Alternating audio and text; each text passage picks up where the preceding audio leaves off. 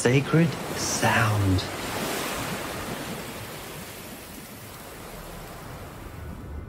Woven into the language of life, stirring in your very atoms. The sound behind all sounds. Infinite ways to receive its blessings. Sing HU with an open heart.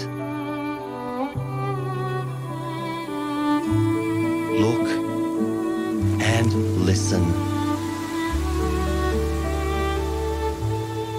For the love that returns to you. Love is love. And you are that.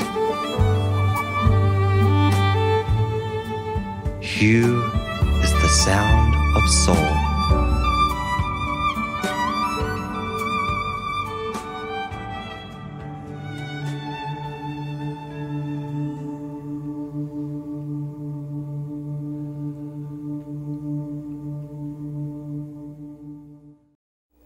Make yourself comfortable if you're a guest here and not familiar with us or our ways, that's fine. Just sit and enjoy.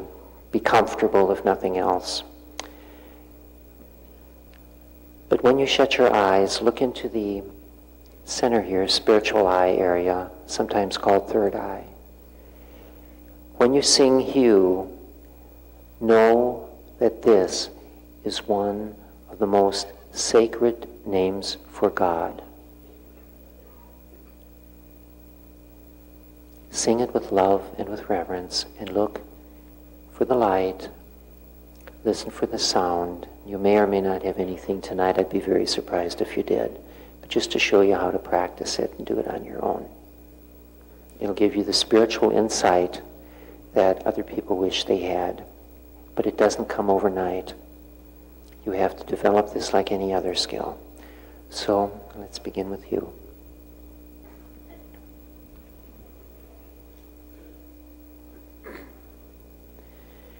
you.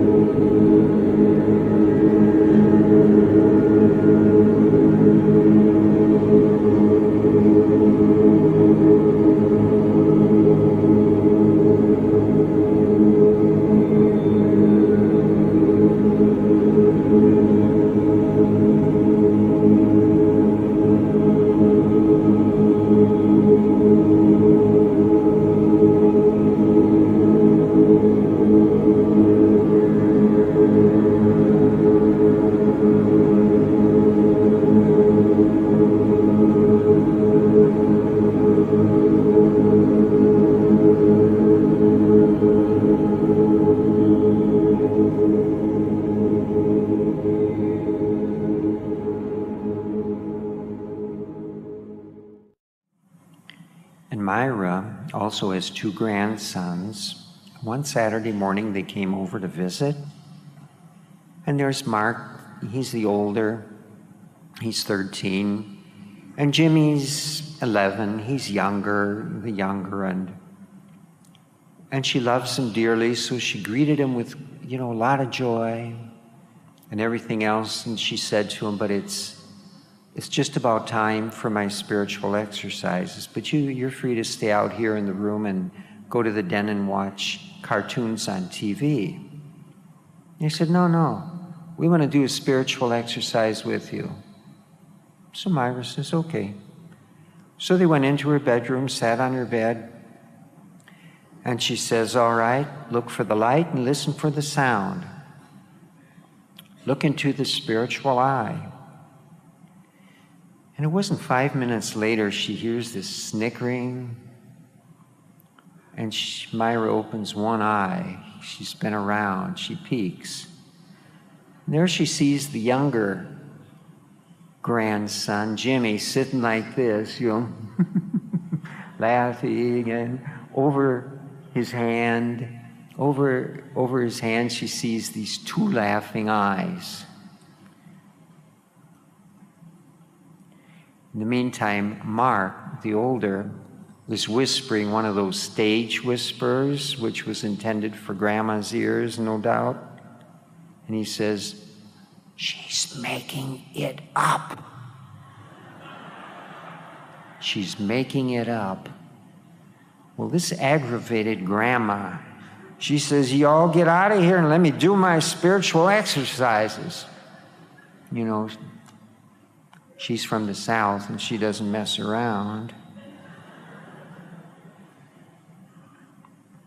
So they're laughing and still snickering, and they go out of the room. Myra's in there all by herself. Now, she likes her special HU session because of the love that comes through from the Mahanta. She feels all this love. So she settles in, she begins the spiritual exercise, and she's just getting into it when she hears this very gentle knocking on the door. She opens her eyes, rolls them to the ceiling, says, What is it? Mark, the older of the two, comes in very, he creeps in actually, you know, he's knowing he shouldn't be doing this. And he said, uh, Can I do your spiritual exercise with you? He said, Can I do the HU with you? It calms me down and makes me feel better. Okay, said Myra. And now Myra lays down the ground rules. She says, But this time I'll walk you through it, and you can take it from there. So Mark sat down, and then Myra says, Like an old hen with one chick, I put my wing around his shoulders, and we started to sing HU. And after a while, then Myra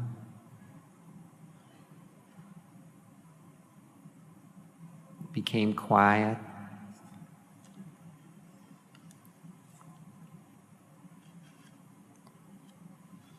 And then she described the scene that they were visualizing. She said, We're walking on a beach, feel the sun's warmth on your body. And she takes them through this spiritual exercise very nicely, step by step. Notice the wind blowing a breeze that plays with our hair. And she's very poetic, Myra is. The silky sand is squishing between our toes. You know, I could feel that when I read this. I said, oh, yeah, boy, I remember those days too long ago, you know, too long ago. and then she says, the smell and sound of ocean waves rolling into shore to kiss the sand at our feet. Very much the poet. then she says, And look, there's a sailboat appearing on the horizon. But look, it's coming to shore. And there's the Mahanta at keel. Then she described climbing into the boat and the Mahanta heading the boat for an island. And the island has a beautiful crystal callus, uh, castle on it. And then Myra stopped talking and they sat quietly. And they were listening, listening, still on the edge of the bed. Then Mark said to her in a soft voice, Our grandma, what color is that light? She's very down earth. What color do you see? White. That's the best, said Myra. Hush, he said. It's still there. But Myra knew her moment to strike, and she replied softly, Now, am I making it up? Mark's trying to keep what he's got on the inner going, and he says, No. no, he wasn't she wasn't making it up, it was so.